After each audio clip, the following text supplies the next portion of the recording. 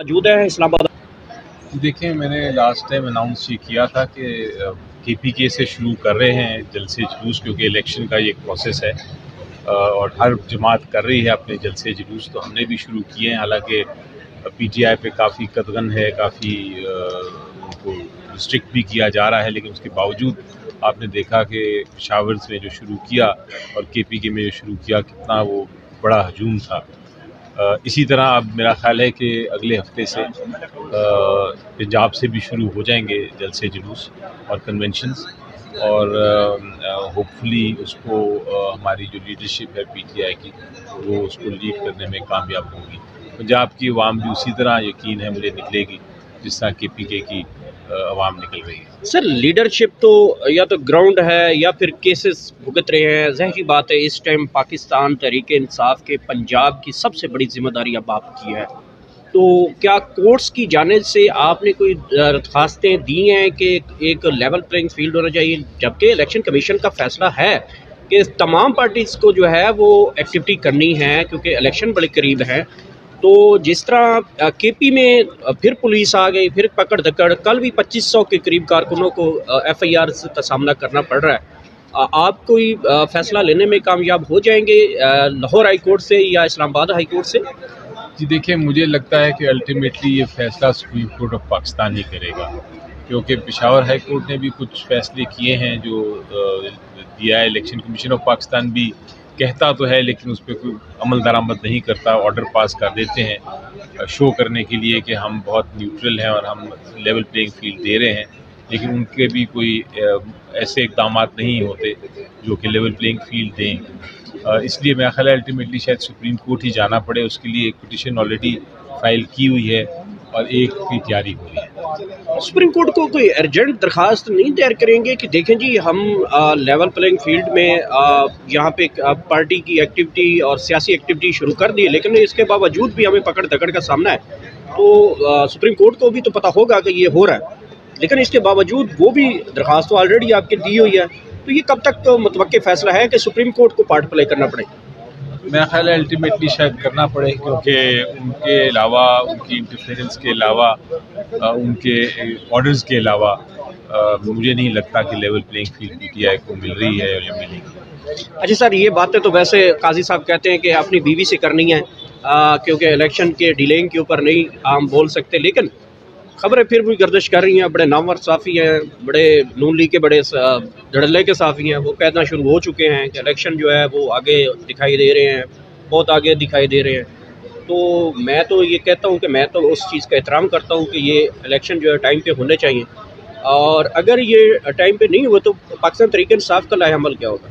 देखिए जी, मैं आपको बड़ा वाज तौर पर कह दूँ, मुझे यकीन है कि इलेक्शन टाइम पे होंगे। और अब सुप्रीम कोर्ट ऑफ़ पाकिस्तान ने चूँकि कह दिया है कि वो एक जो डेट है इलेक्शन की वो एक पत्थर पे लकीर लिखी गई है और वो तब्दील नहीं होगी तो मुझे उन उस ऑब्जर्वेशन पे यकीन है और मुझे उस जजमेंट पे यकीन है जो सुप्रीम कोर्ट ने पास की है। मुझे आ, सोचना भी नहीं है कि इलेक्शन नहीं होंगे टाइम पे। एक ताज़ा खबर सामने आई है जाज उलसराज साहब कहते हैं कि जी जो जेल का जो ट्रायल है वो ओपन ट्रायल होगा लेकिन होगा अडियाला के अंदर। ये अभी खबर गर्दिश कर रही है। आप समझते हैं कि ये फैसला मुनासिब है और जेल के अंदर के ट्रायल का जज जेल ट्रायल का जी जी। तो देखें जहाँ तक तो दो इश्यूज़ थे।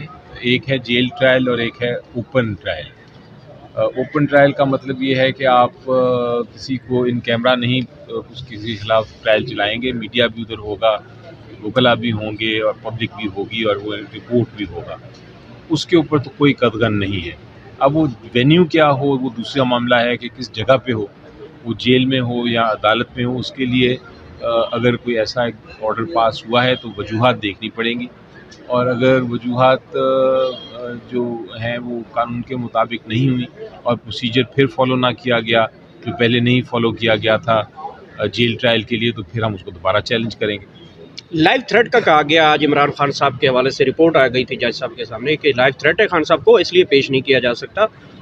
समझते हैं कि ये एक आ, जो एक रियासत की जानब से जो बनाया गया इस तरह का बयान देना वाक़ता इमरान खान साहब को लाइव थ्रेट है जिसकी बुनियाद बनाकर जो है खान साहब को पेश नहीं किया जा रहा? जी मेरी नज़र में ये जो इमरान खान साहब को पेश नहीं किया जा रहा? जी मेरी नज़र में ये एक बहाना है।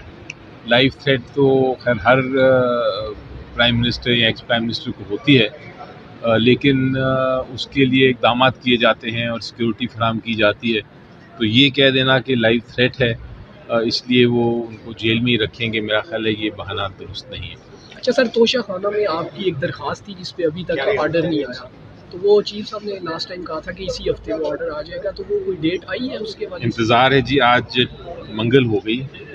तो अब बुध जुमेरात जुमा तीन दिन इंतज़ार और करेंगे वरना फिर दोबारा जाना पड़ेगा। बड़ी अजीबो गरीब बात यह है कि वो सिर्फ़ एक सिंपल विड्रॉल की दरख्वास्त है और उस पर इतने महीने लग रहे हैं। मेरा ख्याल है ये भी एक एक हमारी अदालतों की तारीख का एक एक एक तारीखी वाक़ होगा। तो सर इंट्रा पार्टी इलेक्शन की भी दरख्वास्त फैसला। इलेक्शंस हो रहे हैं जी इंशाल्लाह। वो यहाँ एंड ऑफ़ से इस हफ़्ते ही हो जाएँगे। तो सर खान साहब और शाह महमूद कुरैशी साहब उनमें पार्टिसिपेट कर पाएँगे जेल के अंदर से? जा रहा हूँ खान साहब को। मैं आज मिलूँगा उनको और उनसे फिर फाइनल हदायत लेके तो मैं फिर आपको बताऊँगा कि क्या हमारा फाइनल इसका जवाब है। आप खान साहब के बड़े सीनियर वकील हैं। कौम देखना चाहती है खान साहब के लिए ये सवाल लाजमी करें।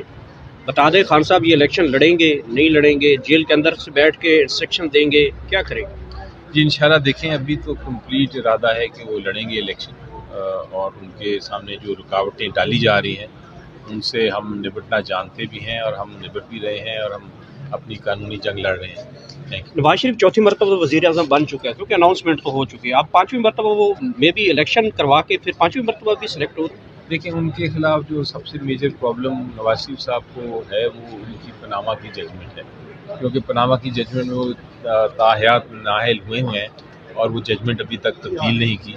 तो इसलिए वो जब तक जजमेंट तब्दील नहीं होती, वो मेरा ख्याल है अपना जो इलेक्शन है, वो इलेक्शन भी नहीं लड़ सकते। जिस अंदाज से नवाज़ शरीफ लाए गए, जिस अंदाज से हाई कोर्ट पहुँची, जिस अंदाज से आजकल फिर रहे हैं, जिस अंदाज से नैब ने कहा कि हमें ये बंदा मतलूब ही नहीं है, आपको लगता नहीं कि ये जजमेंट भी चेंज होते हुए कि एक टाइम लगेगा? वक्त दो सेकंड भी हो सकते हैं।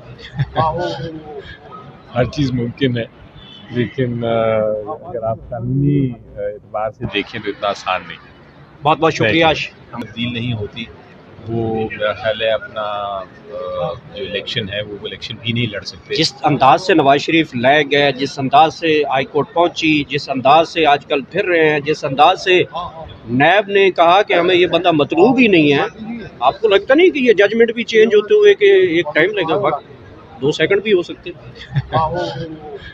हर चीज़ मुमकिन है लेकिन अगर आप कानूनी एतबार से देखें तो इतना आसान नहीं बहुत बहुत शुक्रिया